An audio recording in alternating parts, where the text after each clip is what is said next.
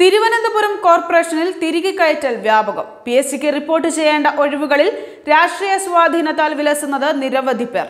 നഗരസഭയിൽ തസ്തിക മാറി ജോലി ചെയ്യുന്നവരിൽ ശുചീകരണ തൊഴിലാളികളെന്നും റിപ്പോർട്ട്. തിരുവനന്തപുരം നഗരസഭയിൽ ജെ പി എച്ച് നഴ്സുമാർക്ക് പുറമെ ശുചീകരണ തൊഴിലാളികളും തസ്തിക മാറി ജോലി ചെയ്യുന്നതായി ആക്ഷേപം.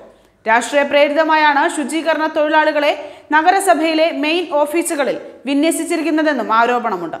നൂറിലധികം തൊഴിലാളികളാണ് ഇത്തരത്തിൽ തസ്തിക മാറി ജോലി ചെയ്യുന്നത്.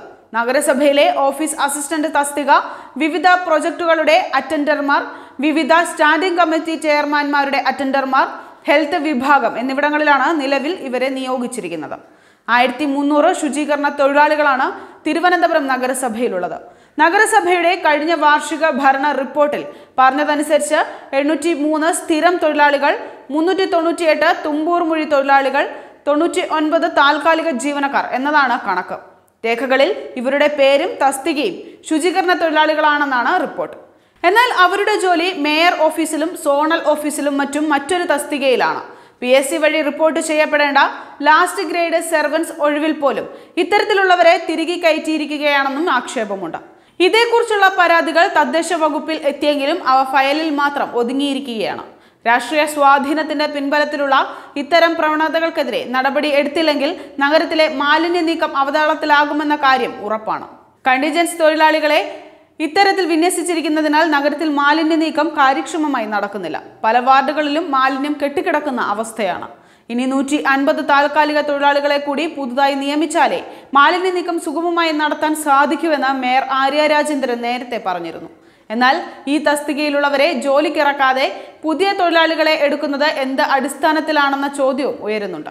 തൊഴിലാളികളെ തസ്തിക മാറ്റി വിന്യസിക്കുന്നത് അവരുടെ മേലധികാരികളായ ഹെൽത്ത് ഓഫീസറോ ഹെൽത്ത് ഇൻസ്പെക്ടറോ അറിയുന്നില്ല. ആരോഗ്യ സ്റ്റാൻഡിംഗ് കമ്മിറ്റി ചെയർപേഴ്സൺ മേയർ എന്നിവർ പോലും ഈ മാറ്റം അറിയുന്നില്ലെന്നത് ചട്ടവിരുദ്ധമാണ്. ഈ തസ്തികയിലേക്കുള്ള പി എസ് സി പരീക്ഷ എഴുതി അനേകം പേർ ഫലം കാത്തു നിൽക്കുമ്പോഴാണ് വകുപ്പിലെ സീനിയോറിറ്റി മാത്രം പരിഗണിച്ച് ചിലരെ നിയമിക്കാൻ ശ്രമം നടക്കുന്നത്. ബിരുദവും രണ്ടു വർഷം മാധ്യമരംഗത്തെ പൂർണസമയ പ്രവർത്തന പരിചയവുമാണ് അസിസ്റ്റന്റ് ഇൻഫർമേഷൻ ഓഫീസർ ആവാൻ വേണ്ട യോഗ്യത. പി എസ് സി ഈ തസ്തികയിലേക്ക് പരീക്ഷ നടത്തി ഫലം പ്രസിദ്ധീകരിക്കാൻ നടപടികൾ പുരോഗമിക്കുന്നതിനിടെയാണ് പിൻവാതിൽ നിയമന നീക്കം. പി ആർ ഡിയിലെ പായ്ക്കർ സ്വീപ്പർ ഓഫീസ് അസിസ്റ്റന്റ് തസ്തികയിലുള്ള ബിരുദം യോഗ്യതയുള്ളവരെയാണ് സ്പെഷ്യൽ റൂളിൽ ഭേദഗതി വരുത്തി തസ്തിക മാറ്റം വഴി അസിസ്റ്റന്റ് ഇൻഫർമേഷൻ ഓഫീസറായി നിയമിക്കാൻ വകുപ്പിലെ ചില ഉന്നത ഉദ്യോഗസ്ഥർ ശ്രമിക്കുന്നത്. രണ്ടായിരത്തി പത്തൊൻപത് മാർച്ചിൽ അന്നത്തെ പി ആർ ഡി ഡയറക്ടറായിരുന്ന ടി വി സുഭാഷിന്റെ അധ്യക്ഷതയിൽ ചേർന്ന യോഗമാണ് ഇത് സംബന്ധിച്ച് ശുപാർശ നൽകിയത്.